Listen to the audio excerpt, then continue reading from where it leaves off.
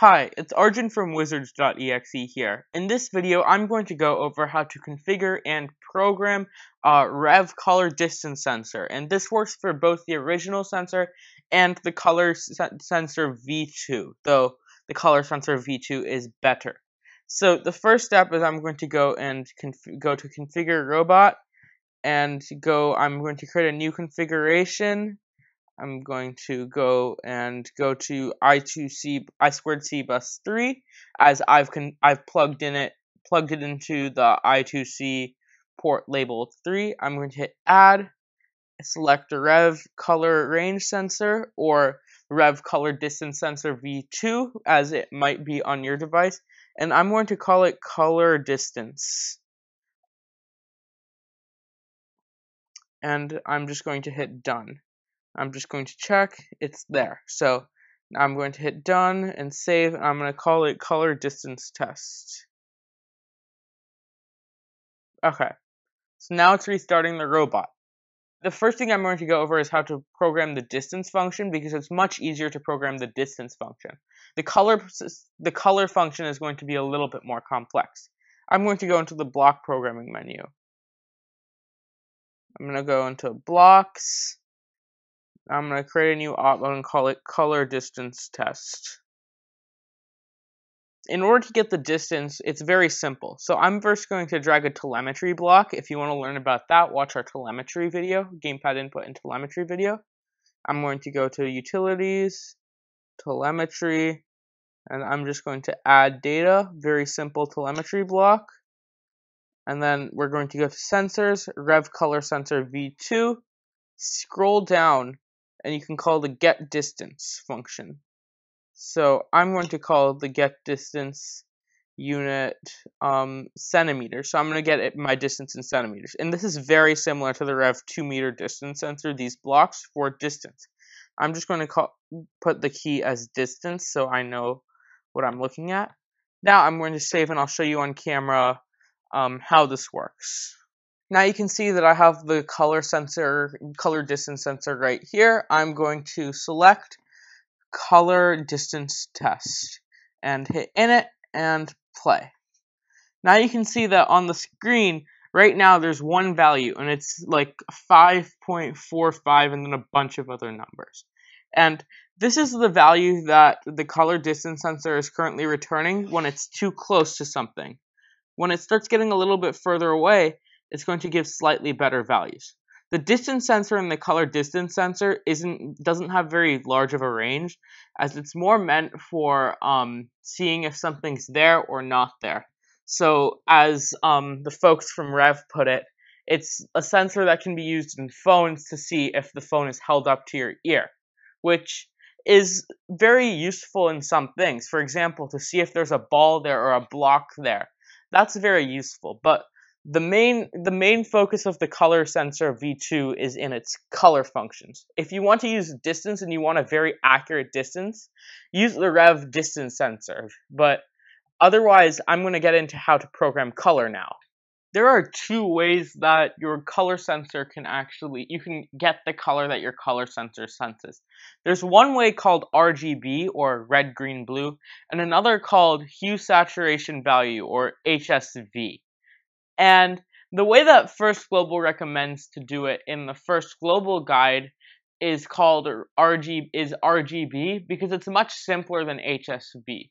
The difference is though that HSV is a much more consistent read while RGB is just way simpler to use. And I'm going to go over RGB first and then we're going to go over HSV. So RGB stands for red, green, and blue. And this means that it essentially just breaks up the three diff- the colors that you get, the color that it reads, into a red portion, a green portion, and a blue portion. Because with red, green, and blue, you can create any color you want, essentially. So I'm going to go back into the color distance test, and we're going to go over um, how to get the RGB values. And this is very simple. You just there's uh, options for it. So I'm going to just duplicate this telemetry block and delete the distance. Then I'm going to go to sensors, rev color sensor V2, and you can get your blue right there, your green right there, and your red is at the bottom. So I'm just going to choose red, and I'm going to type in red. I'm going to do the same for green and blue. I'm just going to duplicate this block and change this to green and then duplicate the second one and change it to blue.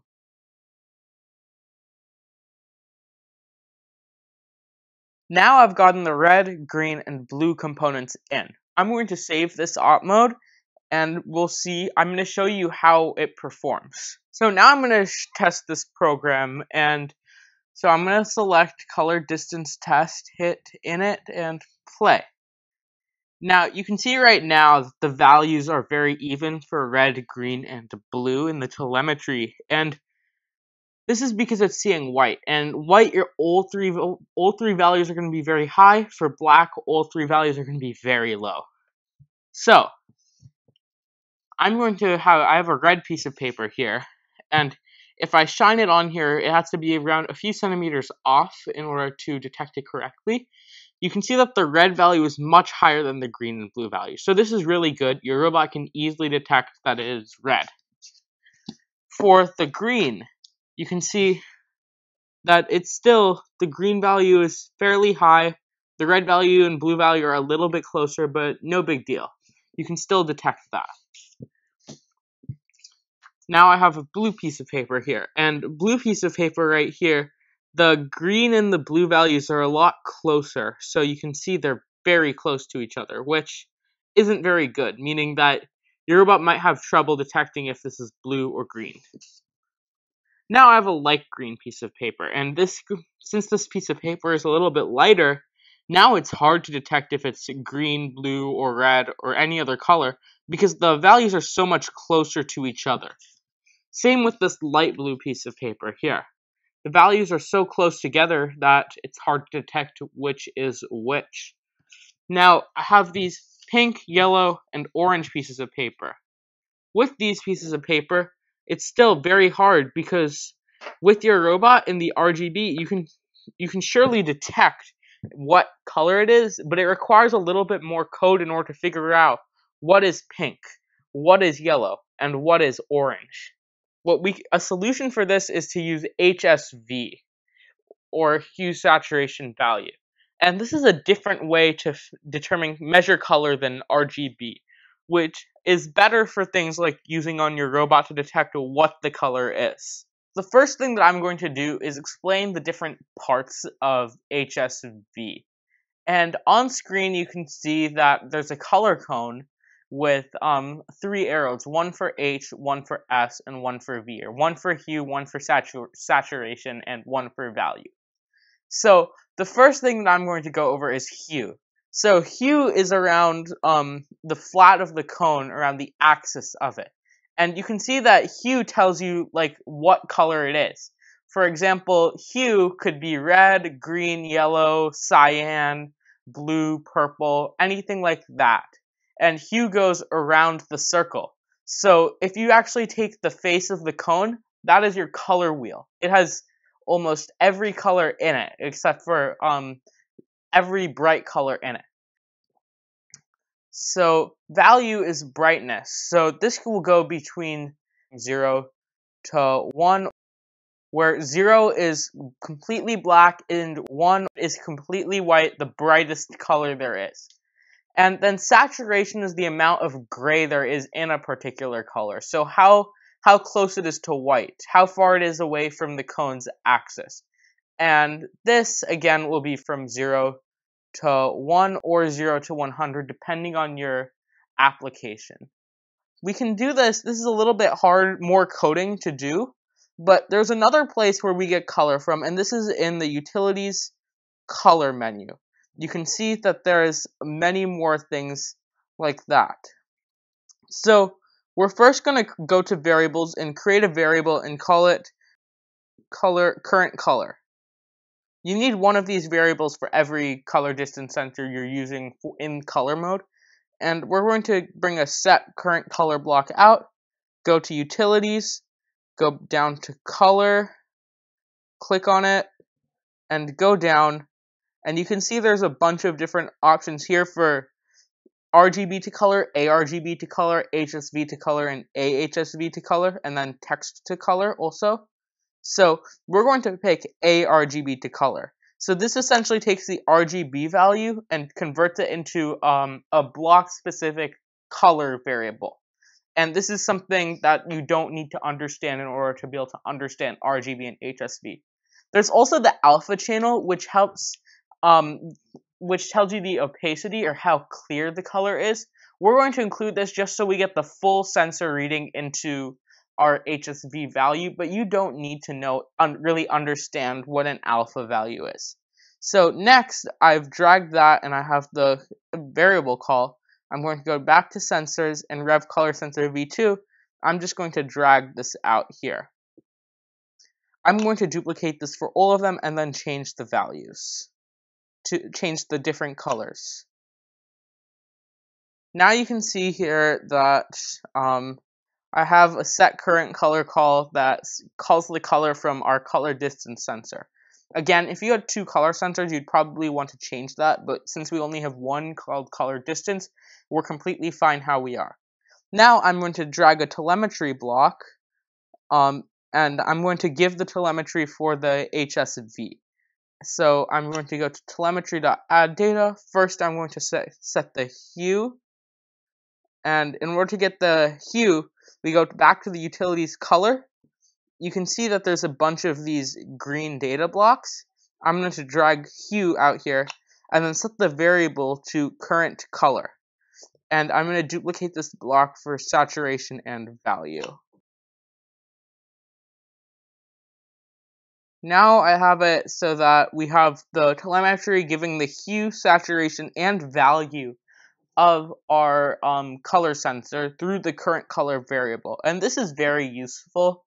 Um, the color variables are also very useful. So we could put this current color variable at the top of our program, at the top of the loop. And then instead of calling um, these green data blocks here directly from the color distance sensor, we could call it from our color variable as to, so that we don't call the sensor as many times. So you can see we can call the red, green, blue, and alpha directly from our color variable.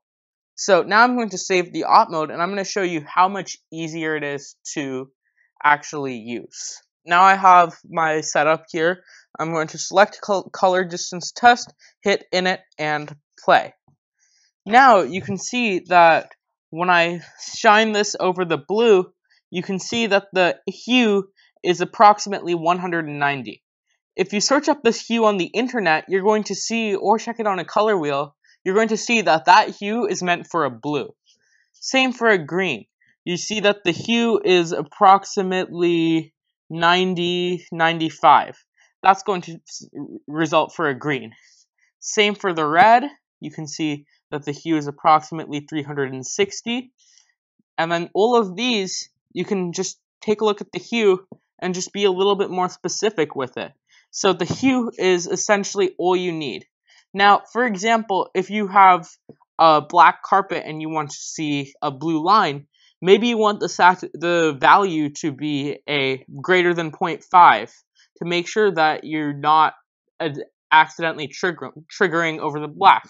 Because if I'm on a white, which is essentially near the center of the cone, you're going to see that the hue is jumping around a lot. So if it's on white, you're not going to get very good values.